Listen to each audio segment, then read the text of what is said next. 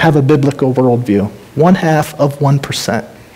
So the kids that are in high school and college right now, one half of 1% of them believe the Bible. That's exactly what's happening here. He said, Because you have married foreign women, your children no longer speak the language of Judah, because we have chased after foreign gods called careers, called uh, uh, pleasure, called whatever you want to call them. Our children no longer speak the language of God, they no longer know about Him. And this is an urgent problem. So we live with urgency because death is inevitable, saints. Every one of us in this room is going to face it, and everybody that we know will face it. We have to live with urgency because people are important, right? They bear the image of God. And the scripture says that it's God's will that all men repent and come to a knowledge of Him. But how will they hear if nobody tells them?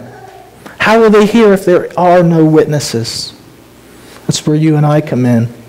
But urgency is also important because Christ's return is imminent. The scripture teaches throughout the Bible to expect the return of Jesus Christ at any moment. And I can't help but think about how we live, how I live. There are times when I'm pretty excited about what's going on here on earth that I give no thought to the return of Christ. And because I give no thought to the return of Christ, I give no thought to the things that he cares about. Like those people who need to hear the gospel. Like those people who are living in slavery. Like those uh, half a million foster children living in America who nobody wants like those people in our community who don't have places to stay. I don't care about those things because I care more about myself. Jesus Christ is returning. And because he's returning, we ought to live with this sense of urgency that any day we will be standing before the King of Kings and Lord of Lords, and we want to give an account before him that's honoring to him. Now, let me ask you a question. How have you been living? Do you care about the things that He cares about, or have you become complacent? Have you prioritized His kingdom, or have you become callous? Do you care about His word and people hearing it? Or have you just become altogether corrupt? If that is you, man, I, I want to encourage you. Urgently seek the Lord Jesus Christ. Not only for yourself, but because of those who are going to come in contact with you. Because there are people out there who need Jesus Christ, and they need to hear about him from you. The question is do we care? Saints, I want to encourage you to do what my coach told me so long ago run your race like your hair's on fire.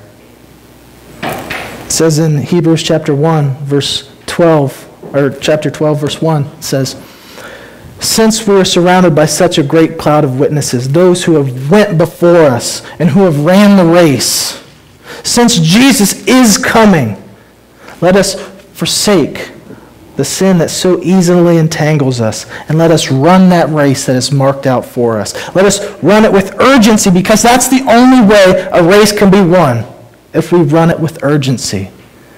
And let us run it urgently because the lake of fire is real and people are going there. Let us run with urgency because we serve a God who is a consuming fire. He is holy and we will stand before him one day. And let's run it like our hair's on fire because we have the privilege of serving a God who has placed in us this burning passion that can only be satisfied in serving him. Let us be those that are not callous. Let us be those that are not uh, complacent. Let us be those who are not corrupt. but let us be those who are sold out for the kingdom of God. It's an urgent call. Souls are at stake. The question is, will we answer the call? Let's pray.